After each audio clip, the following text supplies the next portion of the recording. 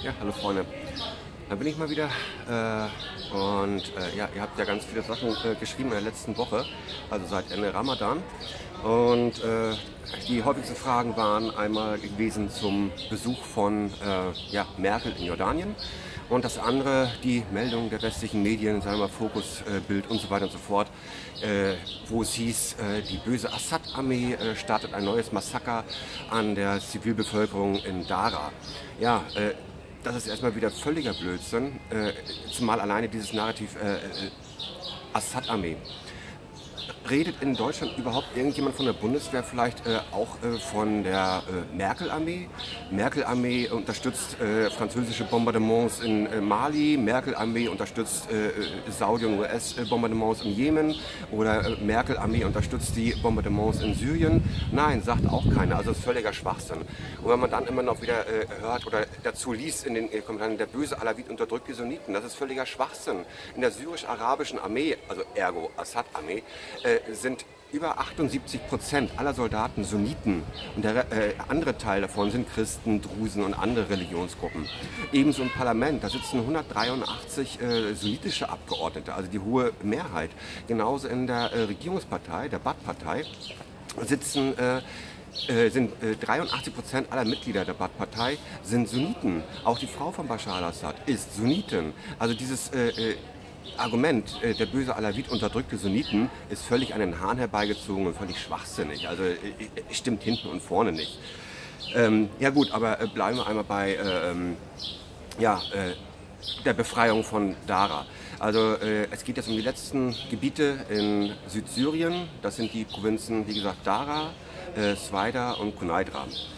Ähm, die syrische Regierung hatte den ja, Islam, äh, äh, radikal-islamistischen Terror- und Söldnerbanden, die den Süden seit 2012 besetzt gehalten haben, äh, ein Ultimatum gestellt, zu Beginn des Ramadan.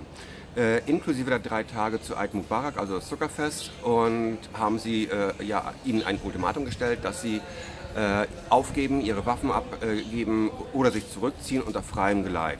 Dieses Ultimatum haben die Terroristen äh, verstreichen lassen und Ende des Ramadan, jetzt äh, letzte Woche, also am Montag, äh, ist die Operation zur Befreiung von Südsyrien gestartet.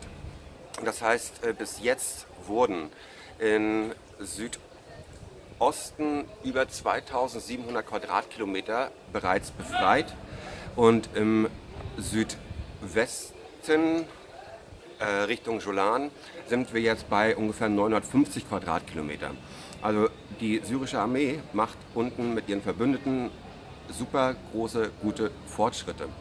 Ähm, unterstützt werden sie natürlich von der äh, Hisbollah, der libanesischen Hisbollah, der palästinensischen Liwa al-Qud und nein, nicht von der iranischen Revolutionsgarde, wie es äh, ja vermeldet wurde.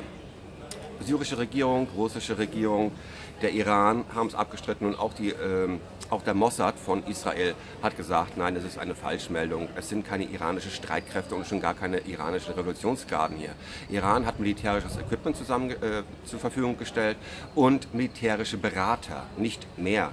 Und es gab zu Start der ähm, Offensive gab es drei Luftschläge, zwei von den USA, einen von Israel, einmal an der irakisch-syrischen Grenze im Osten und einmal bei Swaida.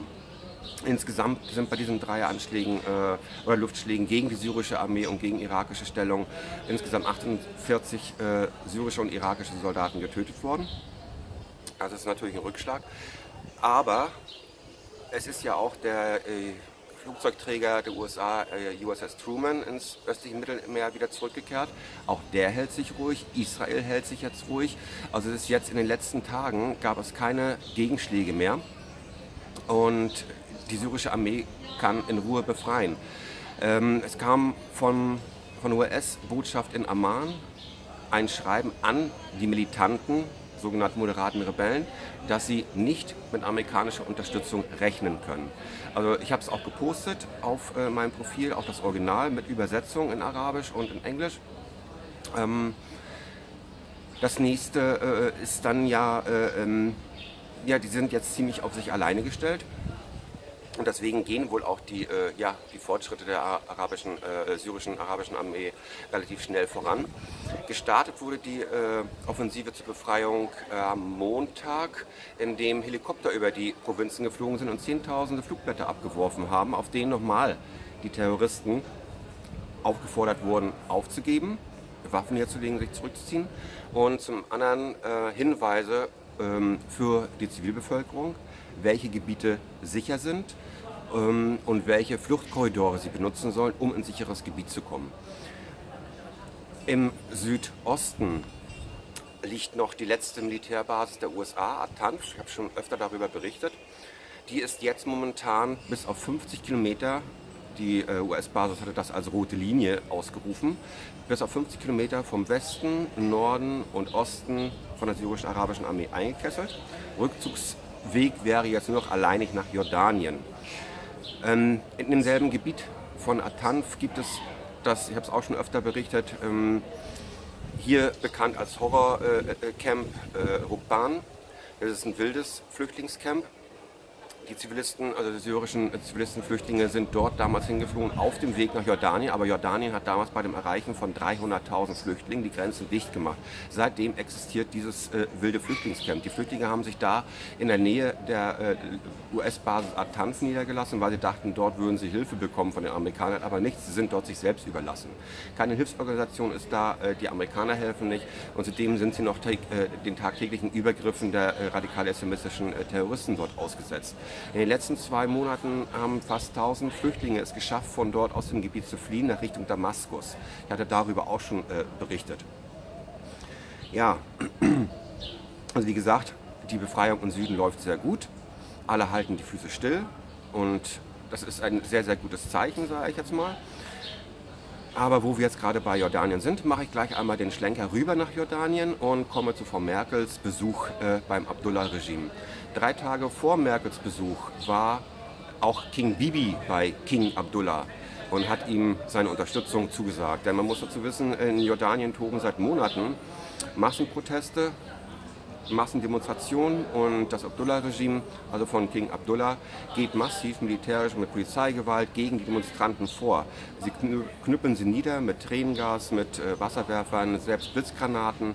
Also es wird alles aufgefahren, um die äh, Proteste niederzudrücken. Der Grund war, dass äh, das Abdullah-Regime mal vor Jahren einen Milliardenkredit beim IWF aufgenommen hat, somit also seine jordanische Zentralbank verpfändet hat an an das IWF, sozusagen an die Federal Reserve und somit an die Rothschilds. Okay, ist eine längere andere Geschichte, aber sie haben eben halt ja die Kontrolle über die Zentralbank und sie wollen jetzt ihr Geld sehen. Und Jordanien hat dann eben halt daraufhin die Steuern erhöht um bis zu 30 Prozent. Und deshalb sind die Menschen auf die Straße gegangen und haben dagegen demonstriert und wollen ihren König loswerden. Jetzt mittlerweile wurde der Finanzminister entlassen und die äh, Steuern teilweise zurückgenommen. Netanyahu war natürlich da gewesen, wie gesagt, drei Tage vor Merkel, hat ihm Unterstützung zugesagt, auch mit Kohle natürlich. Und wo wir schon beim Thema Kohle sind, ja, Frau Merkel, ich hatte es ja auch schon mehrmals äh, gepostet, hat 100 Millionen Dollar mitgebracht im Gepäck. Ähm, sie sagt, um das Land zu stabilisieren, also stabilisieren heißt, das Abdullah-Regime an der Macht halten, nicht mehr und nicht weniger. Genauso äh, hat sie dann hervorgehoben, ach, das ist auch für die Flüchtlinge, für die hervorragende Flüchtlingshilfe, die Jordanien leistet, für eine Million Flüchtlinge. Nein, wie ich schon eben gerade sagte, Jordanien hat nur 300.000 syrische Flüchtlinge aufgenommen und danach die Grenzen dicht gemacht. Und ähm, nicht Jordanien betreibt die Flüchtlingslager in Jordanien, also nicht das Abdullah-Regime, sondern es ist das World Food Program und das UNHCR, die betreiben diese Flüchtlingslager und nicht das Abdullah-Regime. Also was haben die Flüchtlingsorganisationen davon, wenn Frau Merkel dem Abdullah-Regime 100 Millionen in den Arsch steckt? Ähm, das ist ja auch noch nicht mal alles. Ähm, ich habe es mir extra nochmal raus, äh, rausgeschrieben. Seit 2015 gibt es ja in Deutschland, oder 2014 seit in Deutschland äh, verschärfte Bestimmungen für Rüstungsgüterexporte. Gerade in Länder, äh, in, in, arabischen Ländern. Da gibt es aber eine Menge Ausnahmen. Nämlich Ausnahmen dafür, für diese Rüstungsexporte, sind Tunesien, Mali, Nigeria, Irak, Niger und Jordanien. Jordanien, jetzt äh, haltet euch mal fest, also für diese, für diese Länder ist im gesamten Bundeshaushalt ein jährliches Budget von 130 Millionen Euro vorgesehen für Rüstung. Also die bezahlt ihr mit euren Steuern, damit äh, Deutschland diese Länder aufrüstet. Also wir schenken ihnen praktisch Rüstungsgüter in diesem Wert. Jordanien bekommt davon alleine pro Jahr 32 Millionen an Rüstungsgütern. Und äh, seit diesem Jahr sind es 34 Millionen. Aber das ist auch noch nicht alles. Also ich meine, wir schenken denen einfach das Geld, um aufzurüsten oder es, wir schenken es ihnen in Form von Rüstungsgütern, damit sie aufrüsten können. Also Deutschland äh, rüstet die arabischen Staaten hier unten massiv auf. Und jetzt komme ich mal dazu, seit 2015 hat Jordanien von Deutschland 50 Schützenpanzer Marder bekommen.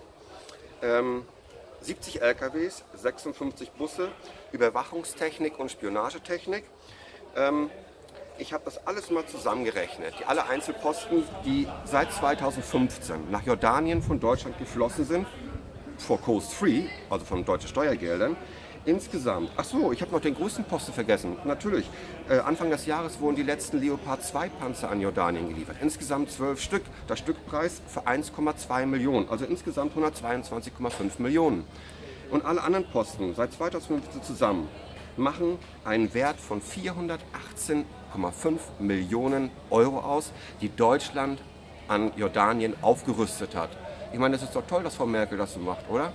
Und ja, und alles for course free, obwohl wir Rüstungsgüterbeschränkungen haben und äh, Jordanien ausgenommen wird. Warum, wieso? Dafür gibt es äh, keine Erklärung, weil der Bundessicherheitsrat tagt geheim.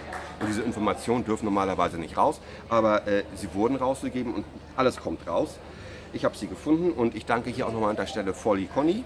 Du weißt, wen ich meine. Äh, sie unterstützt mich immer sehr viel in Recherchearbeiten, also dafür nochmal ganz, ganz lieben Dank. Ähm, was wollte ich jetzt noch sagen? Ach, ähm, ja, um nochmal zu diesem äh, Thema Flüchtlingen zu kommen. Frau Merkel sagte ja, ach, das ist ja für die äh, aufopferungsvolle Hilfe äh, der Jordanien für die Flüchtlingshilfe.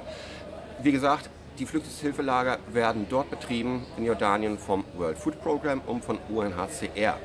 Wenn Frau Merkel diesen Flüchtlingen wirklich helfen wollen würde, dann hätte sie eine Entscheidung aus 2016 rückgängig gemacht, nämlich auf ihrem Betreiben hin von äh, 2016 mit ihrem damaligen Busenfreund Hollande haben sie 2016 mal eben Flüchtling, den Flüchtlingshilfesatz, der ans WHO gezahlt wurde, der dann das Geld an die Hilfsorganisationen verteilt, mehr als halbiert.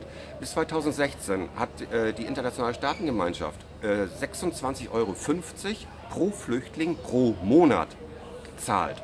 Das war schon schwierig.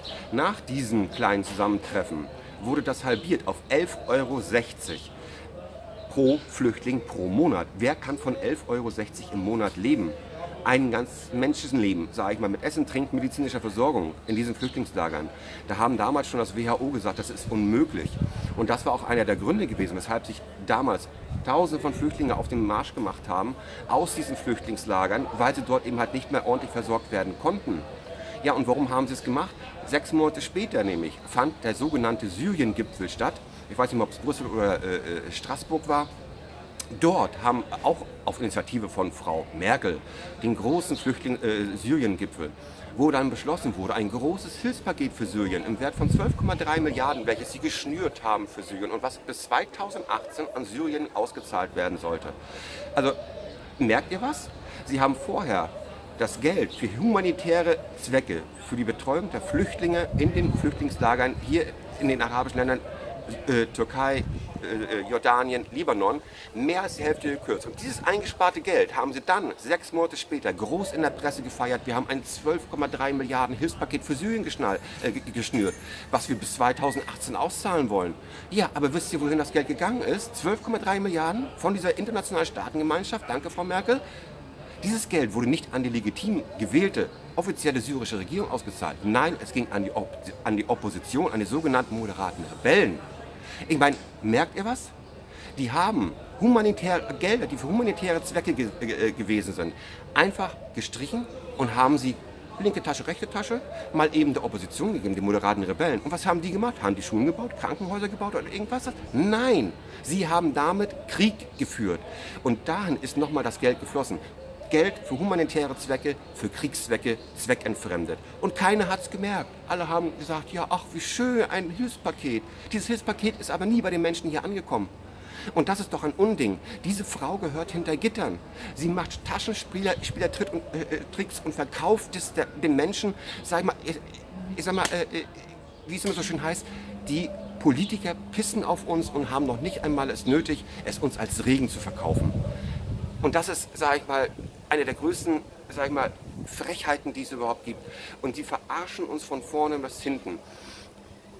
Also humanitäre Gelder für Kriegszwecke zu nehmen und damit sich dann auch noch zu brüsten, Fluchtursachen bekämpfen, sage ich nur.